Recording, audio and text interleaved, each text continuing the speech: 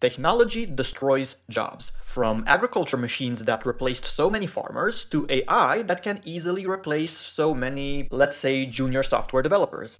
The good news is that, historically speaking, this has proven to be a net positive because more than enough new jobs were created after 1. The first industrial revolution's steam engine as of the 1760s led to leaps in mechanization, transportation, and urbanization.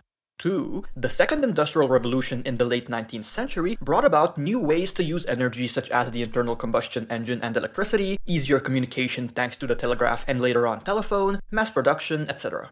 3. The digital revolution, which arguably started with the invention of the transistor in 1947, brought us computers, mobile phones, and other productivity increase facilitators. Thus, while far less labor was needed in agriculture or the textile industry, a lot of it was required so as to keep factories running, build energy infrastructure, and so on.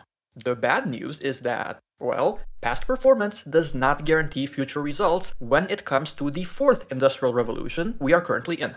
More specifically, we know AI will destroy many jobs, but hope rather than know that enough new ones will emerge to offset these losses.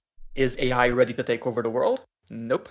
Is AI ready to take your job? Not necessarily AI in the form of fully autonomous agents, but even with today's technology, someone who knows how to use AI can easily replace an entire customer support department, for example. Which is quite scary, especially since the idea that AI progress will slow down to make the transition smoother is naive from a game theory perspective. Think about it. If the US or European Union implement roadblocks, countries like China will be more than happy to do the exact opposite.